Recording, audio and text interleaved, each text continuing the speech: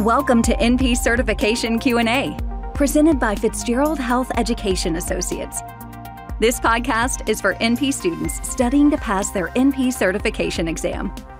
Getting to the correct test answers means breaking down the exam questions themselves. Leading NP expert Dr. Margaret Fitzgerald shares her knowledge and experience to help you dissect the anatomy of a test question so you can better understand how to arrive at the correct test answer. So, if you're ready, let's jump right in. The NP is caring for a 68 year old man with a 20 year history of type 2 diabetes, hypertension, dyslipidemia, obesity with BMI at 32, and stage 3A CKD, who is currently taking all of the following medications at optimized doses and with adherence. He is taking an ACE inhibitor, thiazide diuretic, a statin, and metformin. His current A1C is 8.2%, where normal is less than 5.6%. And he states he's feeling well. Which of the following should be considered as next step therapy? A, a sulfonylurea, B, basal insulin, C, an SGLT2 inhibitor, or D, no therapy as he is feeling well. Where do you start? Determine what kind of a question this is. And given this is a question focused on possibly adjusting therapy for an adult who is currently diagnosed with and being treated for multiple health conditions that often occur concurrently, that would be hypertension, dyslipidemia, type 2 diabetes, and CKD. As a result, this is an evaluation question where the NP is being asked to consider response to care and if the patient is meeting treatment goals. Let's take a look at the current ADA recommendations as well as the patient information we're given. First, the only lab parameter we're provided with is an A1C of 8.2%. And if you're thinking to yourself, I want a lot more information about this patient, Please keep in mind on the NP boards, not at all uncommon to get a little bit of information like this, like just the A1C. And then you are to take it from there. But keep in mind, the boards will not ask you to answer a question where you have truly been given inadequate information. In other words, you've got all the information you need to answer this question in the narrative of the question, the body of the question, the patient's story. So back to that A1C of 8.2%. The goal A1C of less than 7% for most people with type 2 diabetes per ADA applies here. As a result, we know his glycemic control is suboptimal and therapy needs to be adjusted. We also know the patient has established CKD and we're told that he's at stage 3A, where the estimated GFR range is about 45 to 59. And keep in mind, a normal GFR can be in excess of 90. The goal of renal protective therapy is to slow the irreversible loss of function nephrons, therefore preserving GFR. He's taking one medication that does provide this renal protection, an ACE inhibitor, a class of drugs with a pril suffix. Keep in mind as well, an ARB could have been given. Those are meds with a sartan suffix instead of the ACE inhibitor. But important to keep in mind never, ever, ever an ACE inhibitor and an ARB at the same time because there's too much hyperkalemia risk with that combo. So, again, either an ACE inhibitor or an ARB, but never the two together. The ADA now advocates the use for select diabetes meds in the presence of CKD due to the evidence of their ability to help preserve renal function. These include the SGLT2Is, gliflozin suffix medications such as canagliflozin, and the GLP1 agonists, many of these that have the glutide suffix such as semaglutide.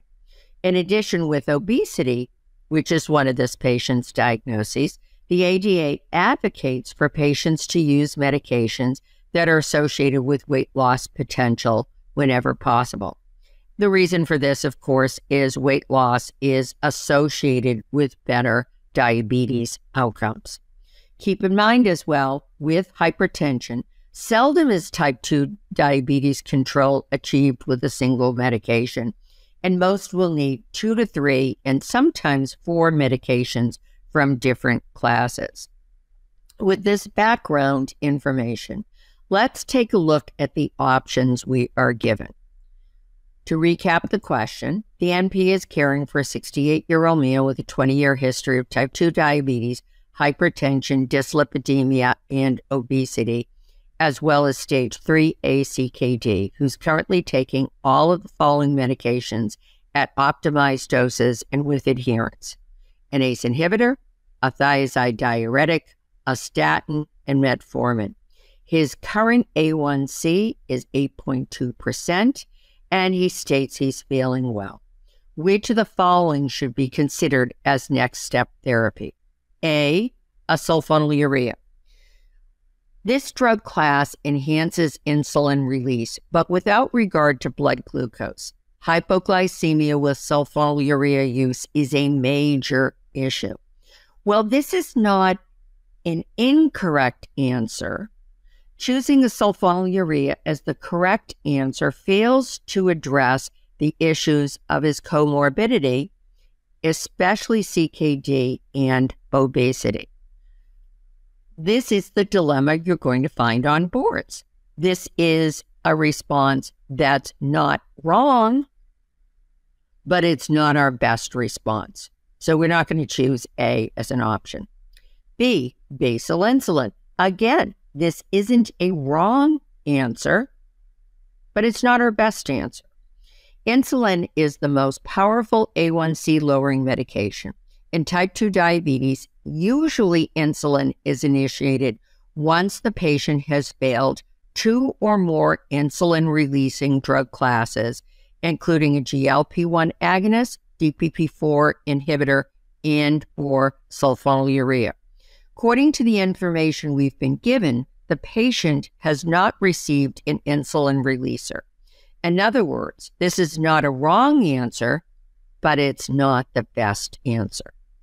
C, an SGLT2 inhibitor. This is our correct answer because this is the best answer. The use of this drug class those with the gliflozin suffix, aside from providing enhanced glycemic control, are typically associated with modest weight loss and have been associated with slowing CKD progression, due in part to lowering intraglomerular pressure.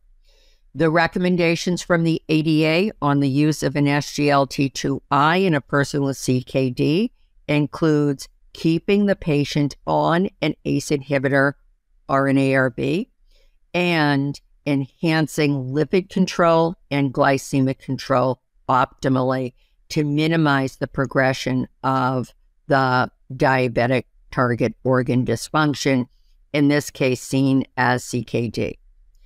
C is our correct answer because it's our best answer. Now let's look at option D no additional therapy because he's feeling well. Of course, this is incorrect. His A1C is nowhere near the goal of less than 7%. Persistent hyperglycemia can contribute to diabetic TOD progression, resulting in even more reduction of his GFR, plus, of course, vascular and neuropathic issues. Patients are often without symptoms, even with persistently elevated blood glucose. As I wrap up reviewing this question, I am going to toss in one more little nugget of information. You might be thinking, well, he's got CKD. Should he remain on metformin? And metformin remains safe to use in people as long as the GFR is 30 or above. And with his stage 3A CKD, his GFR is well above that parameter. The key takeaway the ADA goals for treating type 2 diabetes include aiming for select glycemic goals to help minimize diabetes related TOD. While many medications will help lower A1C, certain medications have the advantage of minimizing currently present TOD, particularly its progression. Knowledge of these preferred medications is critical to safe practice and NP board success. Thank you for listening to NP Certification Q&A, presented by Fitzgerald Health Education Associates. Please rate, review, and subscribe to this podcast. And for more NP resources, visit FHEA.com.